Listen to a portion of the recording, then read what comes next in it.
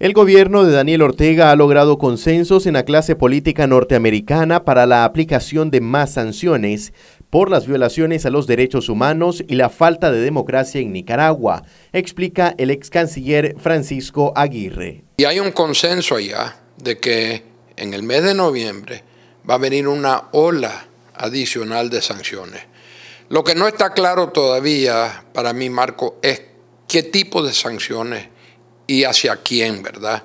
Eh, porque hay un debate muy, muy eh, importante, incluso apasionado en los Estados Unidos, entre aquellos, por ejemplo, que dicen que sanciones sí, pero no si van a afectar al pueblo de Nicaragua.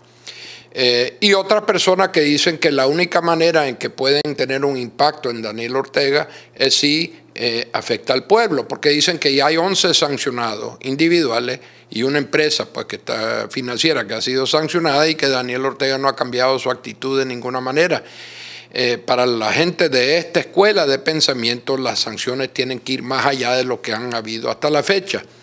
Pero eh, hay otras personas que dicen que no, que esto tiene que ser dirigido más de lo mismo y que en su momento, sincronizando las sanciones norteamericanas con las de Canadá y con las de eh, la Unión Europea, que ahora ya tiene un marco para, para sanciones, eh, podrían llegarle eh, a, a, lo que le duele pues, a Daniel Ortega. Aunque la administración nicaragüense se muestre fuerte ante las cámaras, es evidente su molestia e incomodidad por la aplicación de estas medidas internacionales contra su gabinete, apunta el diplomático. Yo creo que sí le han afectado, porque si no le hubieran afectado, él no le hubiera dicho jamás a los miembros de la Alianza Cívica que pidiesen que se, le, que se quitasen las, las sanciones. Pero no van a hacer que él eh, ponga en riesgo lo que él más valora, que es terminar su periodo y poder él, o tal vez su esposa, o tal vez un hijo de él, o una persona muy allegada a él, ir de candidato en las elecciones de 2021. Él no está aceptando elecciones adelantadas.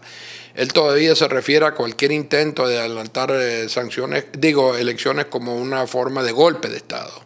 Y hasta la fecha, aunque él quisiera que desapareciesen las sanciones eh, y que no se añadiesen otras sanciones adicionales, él no está tirando la toalla. Eso es lo que yo veo, pues yo creo que, cualquier persona que está viendo la situación en Nicaragua llegaría, llegaría a esa misma valoración. Marcos Medina, Noticias 12.